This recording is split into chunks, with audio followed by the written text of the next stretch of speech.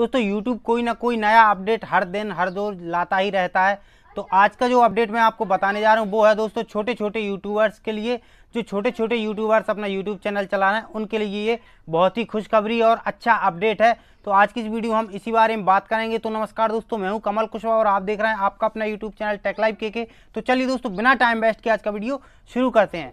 तो दोस्तों अपडेट कुछ इस तरह है कि जो भी जितने भी छोटे छोटे यूट्यूबर्स हैं, उनके लिए बहुत ही अच्छी गुड न्यूज़ है। जी हाँ दोस्तों गुड न्यूज़ ये है कि अभी तक होता क्या था यूट्यूब में कि जो कम्युनिटी टैब जो यूट्यूब में आपके लिए मिलता था, उसका जो रूल्स था पहले यूट्यूब का, जिसमें आपको कुछ माइलस्टोन कंप्लीट करना होता था, यानी कि आपको एक हज़ार सब्सक्राइबर कंप्लीट कर लेने होते थे। इसके बाद ही आपका जो है कम्युनिटी टैब चालू होता था। लेकिन दोस्तों, अब ऐसा कुछ भी नहीं है। अब जो है, आपको कम्युनिटी टैब 500 सब्सक्राइबर में ही मिलने वाला है। जी हाँ दोस्तों, जितने भी छोटे छोटे यूट्यूबर्स हैं, उनके लिए गुड न्यूज़ है। अब आपका कम्युनिटी टैब 500 सब्सक्राइबर में ही ओपन हो जाएगा, यानी कि आपको कम्युनिटी टैब मिल जाएगा। तो दोस्तों, ये बहुत ही अच्छा अपडेट है छोटे छोटे यूट्यूबर्स के लिए।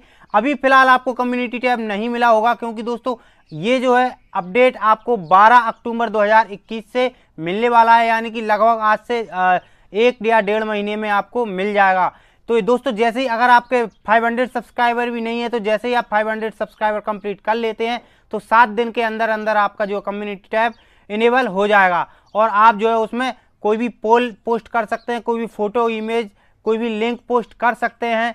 तो ये जो है दोस्तों कम्युनिटी टैब बहुत ही अच्छा और शानदार फीचर है। तो दोस्तों, आशा है आज की वीडियो आपको पसंद आई होगी। अगर वीडियो पसंद आई प्लीज़ वीडियो को लाइक करें। अगर आप चैनल पर नए हैं तो चैनल को सब्सक्राइब कर लीजिए और पास वाली घंटी के बेल आइकन को प्रेस करें ऑल पर क्लिक कर दीजिए, जिससे आने वाली वीडियो की नोटिफिकेशन आप तक आते रहे। तो दोस्तों, मैं इसी तरह की वीडियो लाता रहता हूँ। तो आज की इस वीडियो में बस इतना ही। मिलते हैं अगली वीडियो में। तब तक के लिए थैंक यू सो मच धन्यवाद।